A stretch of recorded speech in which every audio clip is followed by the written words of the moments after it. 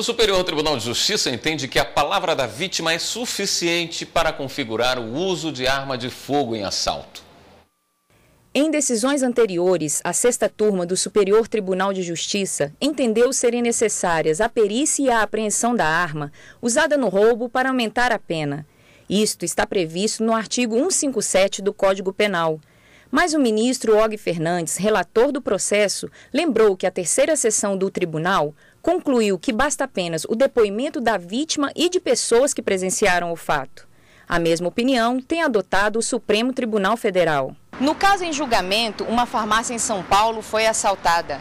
A arma usada pelos bandidos não foi encontrada. Além disso, a única testemunha foi a vítima, o funcionário do estabelecimento. Para o ministro Og Fernandes, o relato dele é suficiente como prova. Com isso, o STJ negou o pedido de habeas corpus do réu.